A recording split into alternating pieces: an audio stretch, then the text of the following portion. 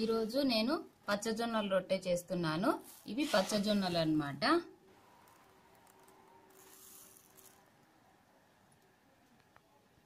వీటిలో పిండి పట్టించుకున్నప్పుడు బియ్యం కలపాల్సిన అవసరం లేదు. ఇవి వచ్చేసి తెల్ల జొన్నలు అంటారు. ఇవి వచ్చేసి మహీంద్రా జొన్నలు. వీటిలో బియ్యం పిండి కలిపి పట్టించుకోవాలా? అంటే ఫైవ్ ఇస్ టు వన్ అనమాట ఫైవ్ కప్స్ జొన్నలు అయితే వన్ కప్పు బియ్యం అన్నమాట. వీటిలోనే తెల్ల జొన్నల్లోనే రాయచూరు జొన్నలు అని ఉంటాయన్నమాట. వాటిలో బియ్యం కలిపి పట్టించుకోవాల్సిన అవసరం లేదు. ఉత్త జొన్నలు పట్టించుకున్న రొట్టె కొట్టనికి ఈజీ ఈజీగా వస్తుంది.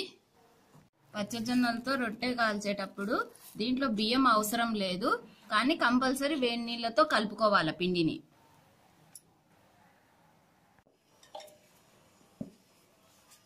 ఇలా పిండి పట్టించుకోవాలి.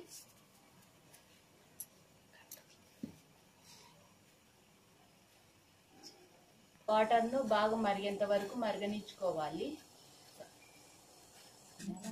వాటర్లోనే సాల్ట్ యాడ్ చేసుకున్నాను.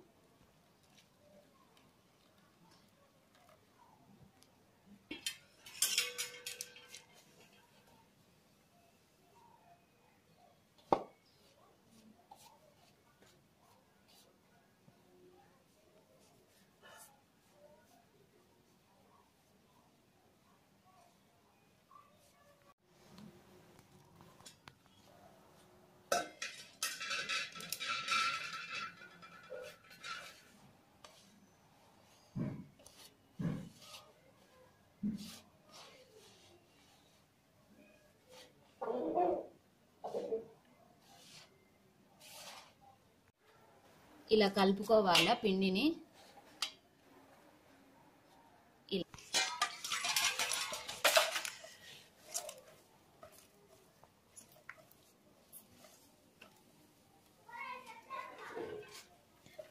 ఏం కాదులేండి.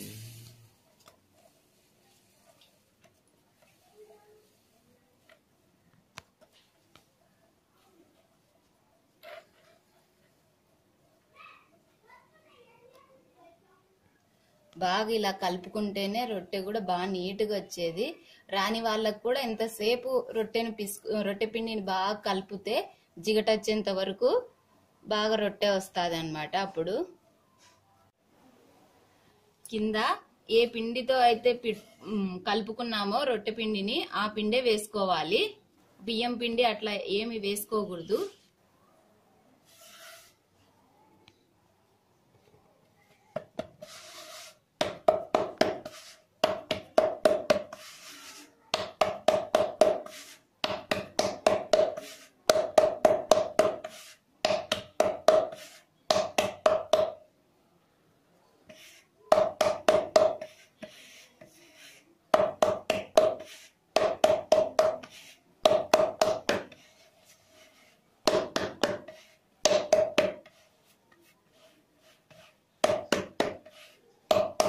అలా తిప్పుతూనే కాల్చుకోవాలి. రొట్టెను తిప్పుతూనే కొట్టుకోవాలి అన్నమాట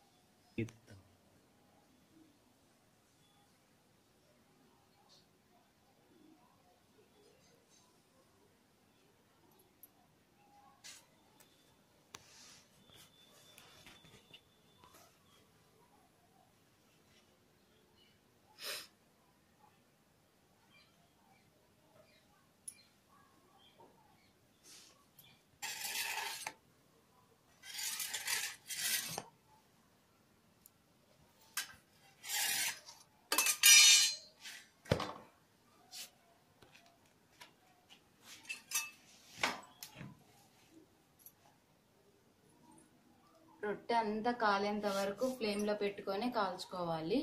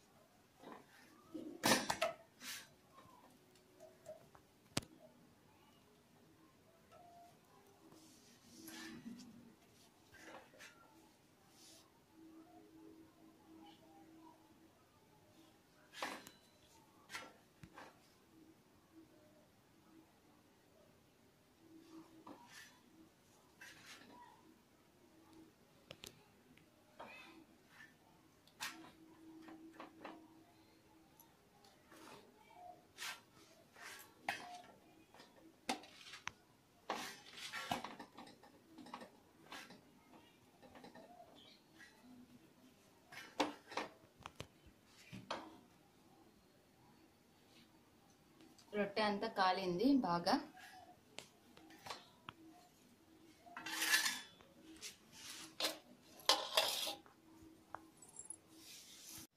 ఇది వచ్చేసి పచ్చజొన్న రొట్టె రెడీ అయింది. పచ్చజొన్న రొట్టె కొంచెం కలరు ఎల్లోగా ఉంటుంది పచ్చగా ఉంటుంది.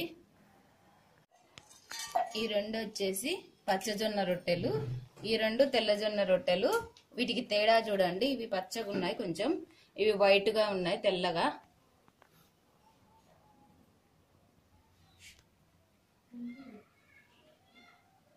పచ్చజొన్న రొట్టె రెడీ